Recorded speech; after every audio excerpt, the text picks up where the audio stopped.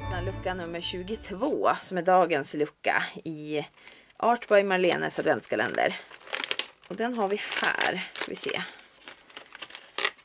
Får ett stämpelmotiv idag igen. Här får vi den här flickan som har varit på baksidan av kalendern. Eh, en liten flicka med krona. En liten prinsessa kanske. Den är ganska gullig måste jag säga. Eh, hon har liksom stängda ögon och ser sådär lite, lite finurlig ut. Eh, den är här.